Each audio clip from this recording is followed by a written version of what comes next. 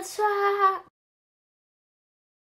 at those savages fighting, ha ha ha! Ah.